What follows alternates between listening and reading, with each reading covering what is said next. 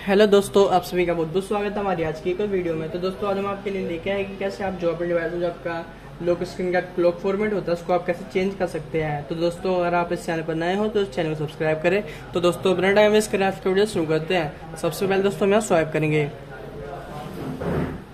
Swipe करने के बाद दोस्तों, हम यहाँ थोड़ा स्क्रॉल करेंगे। स्क्रॉल करने के बाद दोस्तों, देख सकते हैं हमारे सामने एक ऑप्शन दिख रहा है सेटिंग्स का। आपको उस ऑप्शन पर क्लिक कर देना है। क्लिक करने के बाद दोस्तों हम यहाँ थोड़ा स्क्रॉल करेंगे। स्क्रॉल करने के बाद दोस्तों देख सकते हैं हमारे सामने एक ऑप्शन दिख रहा होगा डिस्प्ले का। आपको डिस्प्ले के ऑप्शन पे क्लिक कर देना है, कुछ इस तरीके से। इसी के साथ दोस्तों तो देख सकते हैं आपके सामने कुछ इस तरीके का इंटरफेस हो जाएगा। इसके बाद दोस्तों हम यहाँ थोड़ा स्क्रॉल करेंगे।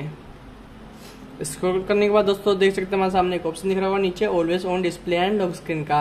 आपको उस ऑप्शन पे क्लिक कर देना है। क्लिक करते साथ ही देख सकते हैं आपके सामने बहुत सारे ऑप्शन दिख जाएँगे। इसके बाद दोस्तों आपको यहाँ थोड़ा स्क्रॉल करना होगा स्क्रॉल करने के बाद दोस्तों, देख सकते हैं हमारे सामने एक ऑप्शन दिख रहा होगा यहाँ पे lock screen and clock format का। आपको उस ऑप्शन पे क्लिक कर देना है।